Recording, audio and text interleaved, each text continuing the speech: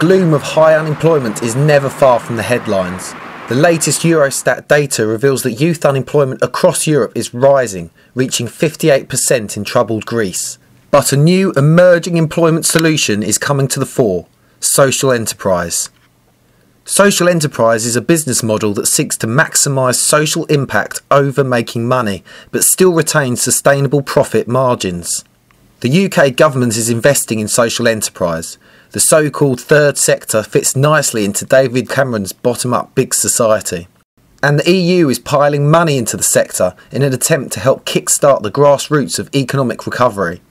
The British Council in Malta recognised the sector's emergence and staged a two day workshop for 16 young social entrepreneurs from across Europe and North Africa. Experts helped the entrepreneurs tweak their business plans and provided advice. Um, but it's exactly this social goal that actually can motivate young people who want to combine uh, a successful professional life, because this is what you want to do today with your values. One young PhD student explained how her sustainable design company will deliver social impact. Or, or the, the new wave of sustainable design for the future.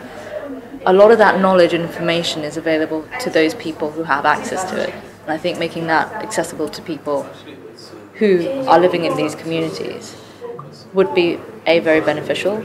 But social enterprise doesn't stop at Europe's borders. It has been suggested it could help tackle problems in North Africa, where in some countries more than 30% of the population are under 18 years old. First is that we need to create more awareness uh, among youth in general about social entrepreneurship. The idea of having uh, the possibility of setting up your own uh, organization that has both um, a social impact uh, as its main goal, but also having a business model that could employ people and create change and so on. Experts and the budding business starlets visited Malta's capital Valletta in the evening, socialising and sharing ideas.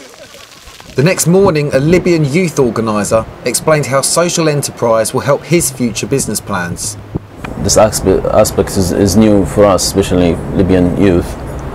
So I'm going to go back to Libya and actually learn more. Politicians have put faith and funds into social enterprise Maybe it can stop the unemployment plague and solve issues in Europe and North Africa, a very big society indeed.